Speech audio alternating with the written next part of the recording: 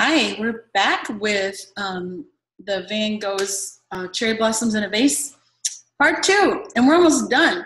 So um, really, all we have to do is um, we're going to sign our names, and then we have to finish these little blossoms up here. So I'm going to pull it super close so that you can see what I'm doing here. And um, the only colors that I'm going to use next are um, kind of a yellow-green. Let me just show you. I'm going to make a yellow-green here green with a tad of yellow in it. Um, we're going to use that burgundy that we have. So this green actually pulled over and mixed up with that. We'll make that burgundy again. Kind of a wine color. And um, bright yellow. So those are the only colors I'm using. I might as well use my burgundy as long as I've got it on my brush.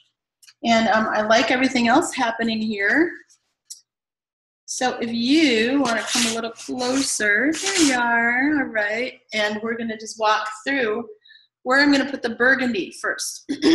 so we just go through and put in all these little things. Um, I switched to a smaller brush, as you can see. See this brush? It's a really teeny, teeny one. And um, all I have to do is little teeny spots. So I figured this would probably work better than that bigger one and trying to maneuver that, especially on camera. So um, you're welcome to do that as well. So I'm going to outline the outside of this. So these brush strokes are just really super choppy. I'm going through the middle.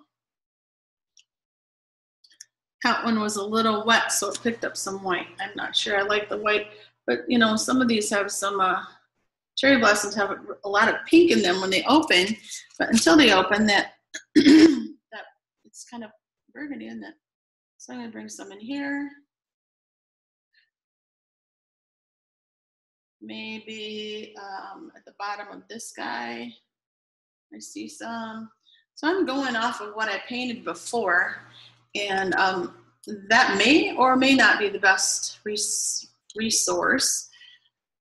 If you are pulling up the original online, you may see different things, which is okay. You can put in all the things you see and follow along what I'm doing. So all of a sudden we just have we um we it's amazing how just a couple little touches will change change it up so much. You know what I'm saying? It's just it, it always amazes me when I when I took um one of the art courses I took was with this woman who was a um, portrait artist, and she would come along, and I'd have this portrait going on, and she would come along and just one or two little teeny little spots here and there and it would change the whole thing. It would all of a sudden look like a person or or or highlighters it was like amazing. And it's really true that when you have just a touch here and there um, it uh, it does change it. I have some drips going on i didn't notice. Okay there we go so there doesn't seem to be a whole lot of burgundy over in here, maybe a teeny bit. I'm going to add a little bit of a flower right in there. Okay, yeah, like that better. So not much burgundy at all. I might, you know what I'm gonna do? I'm gonna pick up some black. Show you what I'm doing. I'm gonna pick up some black and add it to this edge of the burgundy because I want a really, really dark as long as I've got this little brush going on, I want a really, really dark brown on some of these areas, like right in here. I want it darker. And under here, I want it darker. Um, widening the branch there. under there, I want it darker and more brown on the top, maybe. And um, let's see, how about where this knob joins that one? Let's kind of, and then this guy up in here. See how that just, that just changed it, didn't it? A little bit more on this one, this over here, because I like the brown up that we got on there, but I wanted it a little bit more deeper. And then this needs help.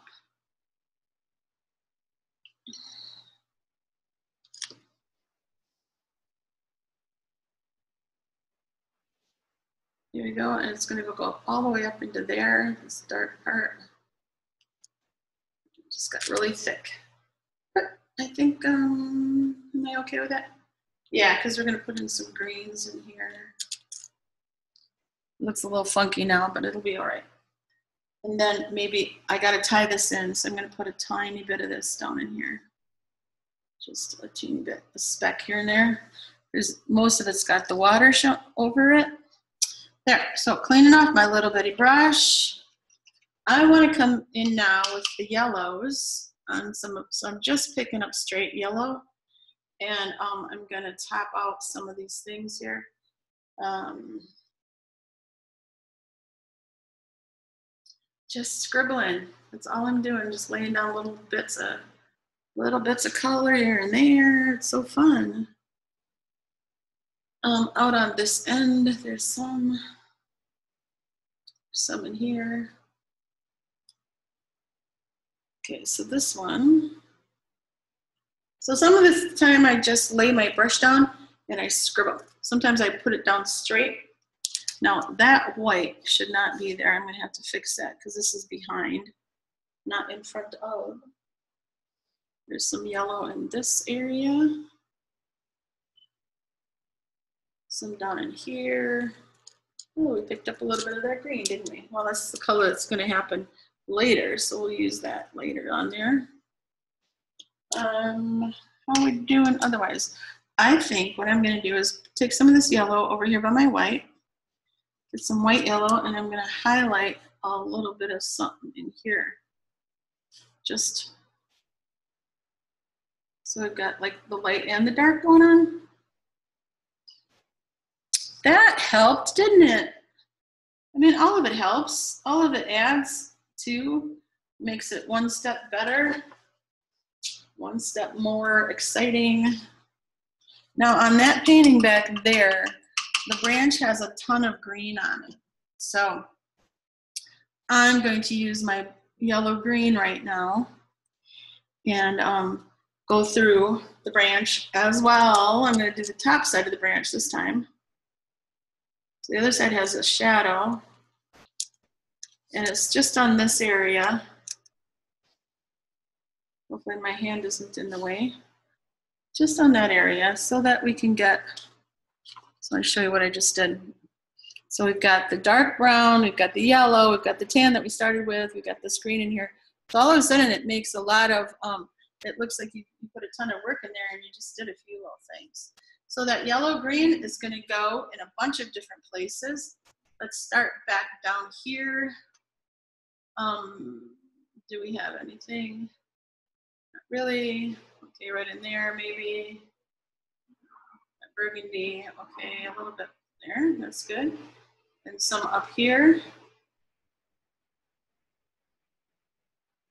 Laying it down in there. Greenish yellow, I just mixed a little bit of um, yellow in with some green. And I'm gonna smudge that out because I'm not sure what's happening there.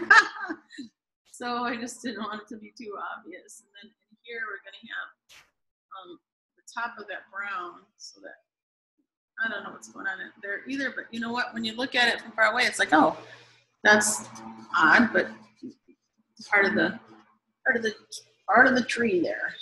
I'm gonna pick up a teeny bit of brown right now and bring it through kind of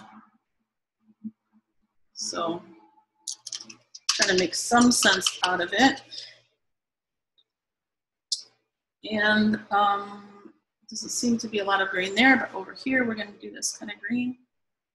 And the bottom, oh, we had a lot of brown down in here that we didn't even get at. Oh my gosh. Look at that, I forgot, I didn't, I missed all that. Okay. Do some greens. And this one has a green on the bottom. That's what's happening. Also, I just saw a teeny bit of blue, light blue so I'm just going to pick up a hair of light blue here, just a hair. and put it in there. Maybe some in here. It's a little bit dark. That's all right. And then some in there. And then some out in here in this one. Very colorful, aren't they? They're so pretty. All right, so here comes my dark brown again because we forgot to go all the way out on this branch to there. More burgundy than brown. Don't want the drippies. I'm gonna just take that off because I got too burgundy. Got too burgundy on me. I'm gonna make it, I'm gonna add a little more black in. Too much black. Be nice if all the stuff was all mixed up for you, huh? So there, it's, all right, now it's the right color, and I'm adding this here. And we're going to go all the way out here. And these are going to have brown stuff coming up to them.